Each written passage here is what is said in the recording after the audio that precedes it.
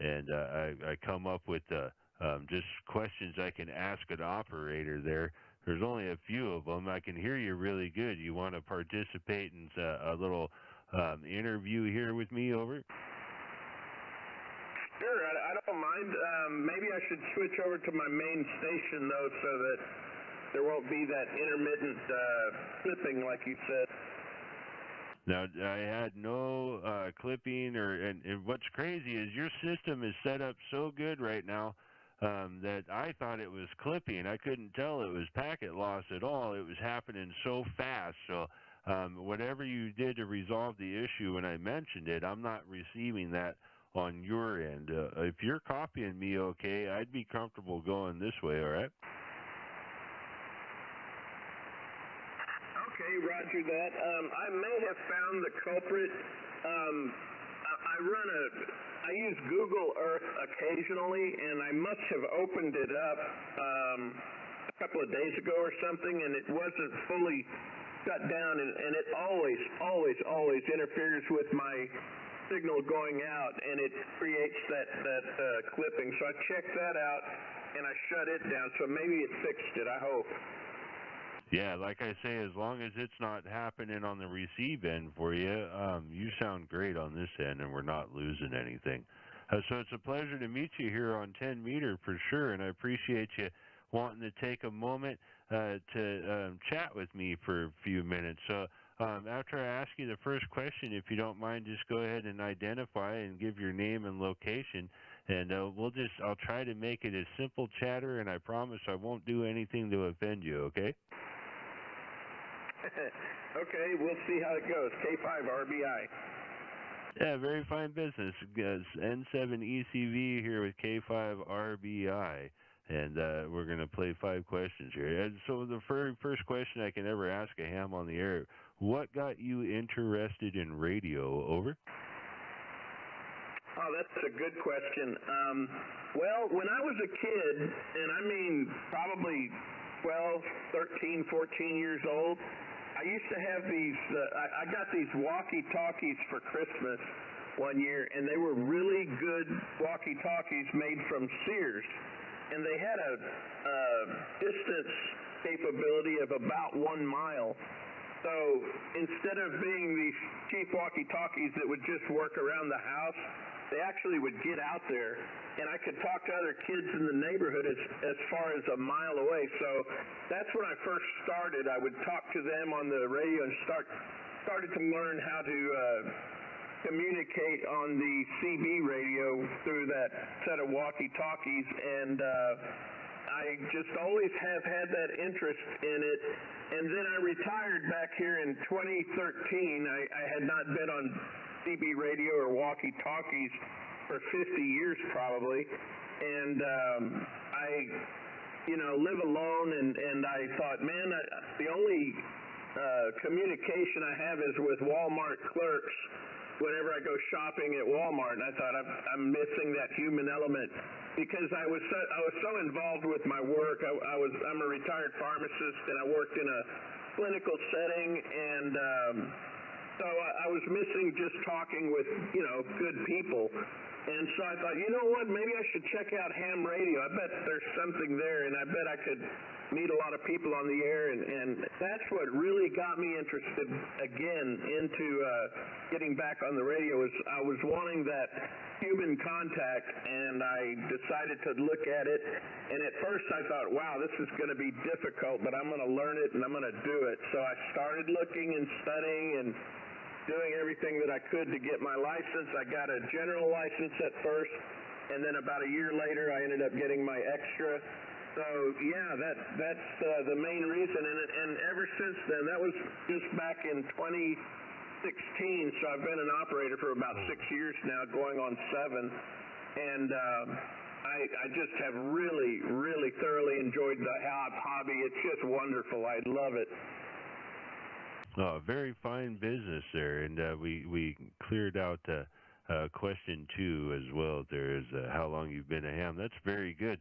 What a neat concept to kind of start out uh, with the old Sears walkie-talkies. You know, I think I kind of remember those, uh, maybe not the same model, but uh, in my youth, those were, of course, uh, uh, hand me downs, right, from my uncle or something like that. And boy, how cool it was to actually be able to communicate uh, with the neighbor kids and friends down the road and stuff. And uh, I, I think that's got to be how most people, in some way, have sparked that social interaction too. Very fine business that you've been able to come back uh, this direction uh, later on in life and pick it up and actually uh, enjoy the hobby. You're coming around at a very good time at, at 2016 or so. It wasn't too bad uh, conditions wise. Uh, I waited. Uh, quite a bit of time to be able to even have a conversation on 10 meter. Uh, so very good. I appreciate you taking a moment there. Uh, so uh, next, I, I, would ask you there, what is your favorite mode? What's your favorite mode to, to operate? Uh, do you have a particular uh, um, notion towards digital CW? Is there anything that you would consider your favorite mode there? Over. Well, when I was uh, young again, I did do a little bit of uh, Morse code, and I learned it back then, but I didn't carry it through, and I had no use, you know, no business practicing it, so I kind of lost touch with that. So I am interested in CW, but my main interest is just to have a good conversation on the air and, uh, you know, talk to people via phone. Um, you know, I forgot to mention something also as a kid, you know, with that, that interest that I had in um, walkie talkies and CB radio. I remember I went to a garage sale with my mother and I saw this little, it was a Sanyo radio and it was small. It was about maybe four inches by about six inches and maybe an inch and a half thick and it had a big old antenna on it, and it was it was a shortwave radio, and I thought, oh, this looks kind of cool. I, and I knew what it was, but I didn't know what it could do. So I asked if I could buy it. She goes, yeah, because it was very very low priced, and I thought, man, I, this is gonna be cool.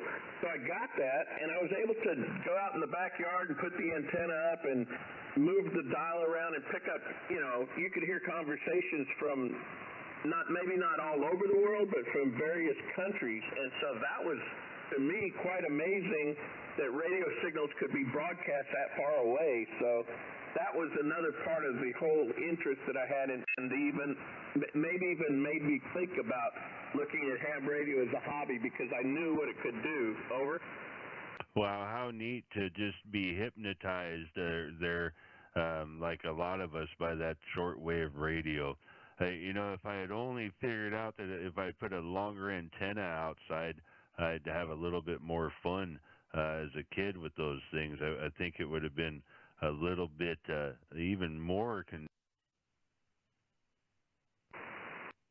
yeah, I agree. That that's very true. It, it would have uh, it would have been amazing to actually get to participate and you know get involved with ham radio. I wished I would have done it a lot lot younger and many more years ago. I'm, but I'm glad I got into it. Over. Very good. Yeah, and and here we are chatting today. Uh, so I'll just take up a little bit more of your time there. This is November 7, Echo Charlie Victor. So any advice to new hams today? Is there anything, you know, you've been uh, playing around with radio and you've got to uh, experience uh, uh, things all the way from playing with those walkie-talkies to your setup now? Do you have if there's something you would tell a new ham today, what would you tell them? Over. Well, I would tell them be safe. That would be the first thing I would stress to them is uh, ham radio is a very interesting and challenging hobby, but be careful because you're dealing with some crazy amounts of energy that could kill you. And not trying to scare anybody away, but you, you, you can't be digging into amplifiers if you do not take the proper precautions and know exactly what you're doing. Leave that to professionals. Don't dig around and mess with the electrical part of it all. Put up antennas for sure and experiment with antennas. That would be the main advice I would have. There's no telling what you can do until you get out there and try it. There's people that have used fences. There's people that have used wires in their attic. There's all kinds of antennas out there that are available. Study the ones that you can online and learn about all the different stations pick up a book from ARRL so that you can learn about how different antennas work. And then if you have the space for a certain type of antenna, go for it. Give it a try. And just keep, don't give up because there's sometimes when uh, a particular antenna may not work for you. But if you keep looking and trying different antennas, you will find something that works great. And when you get that accomplished feeling from putting up an antenna that, that is very successful, it makes the hobby all that more enjoyable, and you continue to try to improve what you have. So, anyway, that's that would be my main uh, advice to new hams. Over.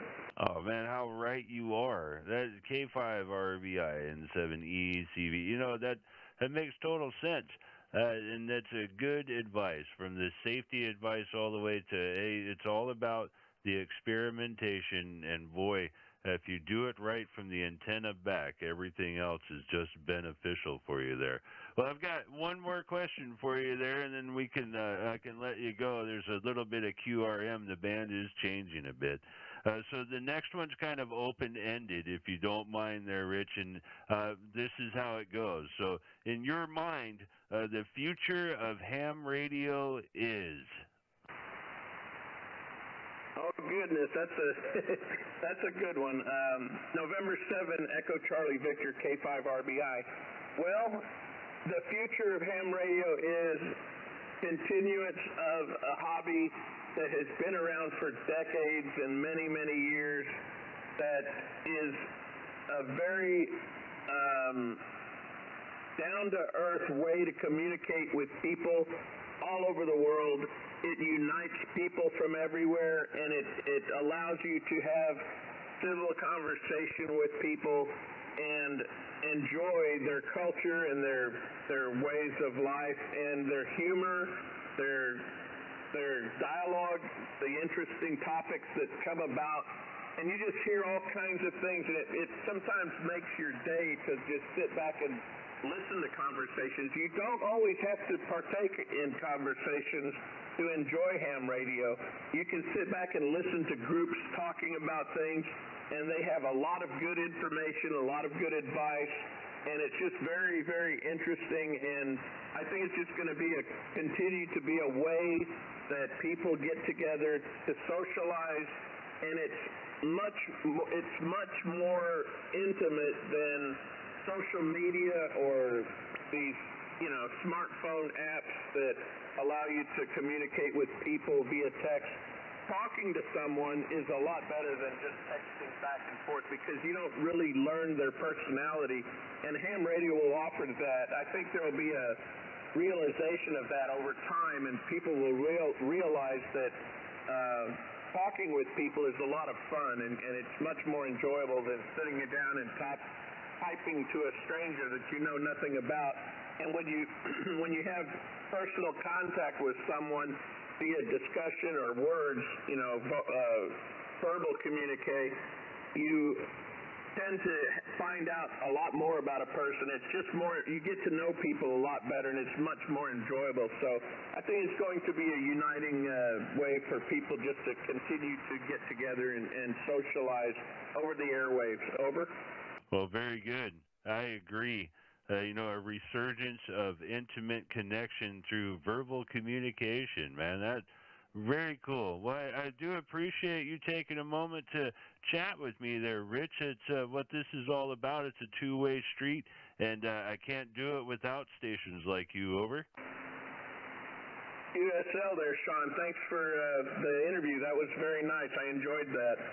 So uh, I'll wish you 73s. There is a little bit of QRM coming in, and the band's kind of uh, lowering or shifting downwards. So uh, it was great that I got to bump into you today, and I'm sure that there's probably some others out there that would like to say hello to you. You're a very interesting person, and uh, hope I can bump into you again to ask you about your dogs. Those really intrigued me when I saw them. Very, very nice.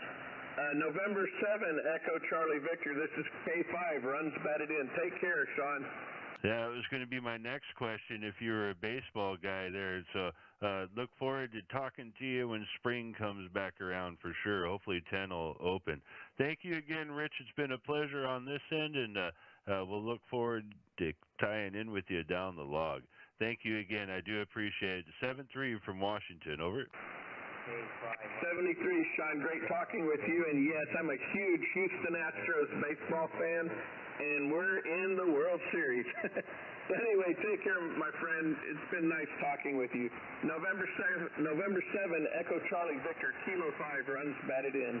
Uh, very good. Yeah, I'll think of you there as, as uh, start paying attention to the scores. We'll clear it, uh, K5 RBI. Was there another Kilo 5 station calling?